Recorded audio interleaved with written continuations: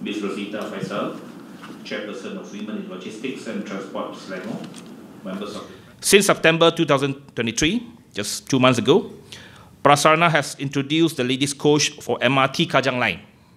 One third of space in the MRT train sets are reserved for women and women together with their young children.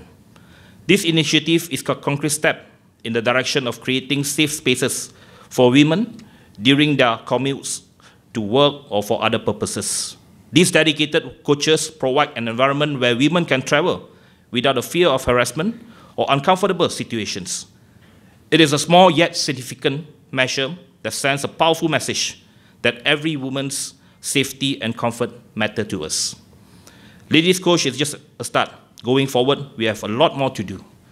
When I started this initiative, I was heavily criticized by the male passengers.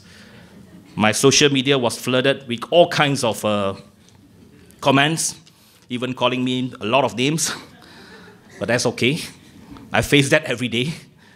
But I feel strongly when something that is right that I need to do, whatever criticism, we have just have to face it and put in our effort and stand by our ground and we proceed with it.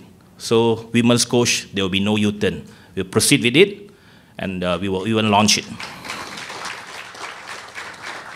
So I have, I have uh, invited uh, the women uh, minister, uh, Dr. Nancy, together with uh, the wife of our Prime Minister, Dr. Sri Wan Azizah, together with me, to launch it together. Uh, this coach to send a powerful message that this is an initiative that we want to proceed, not only proceed for MRT, but even for other uh, mode of transport, uh, even for LRT in the future. But of course, we have to look at uh, the capacity-wise and uh, the practicality-wise to how to do uh, go about it. Uh, and to all our media friends, we will hold a short press conference with YB in Congress Room 4.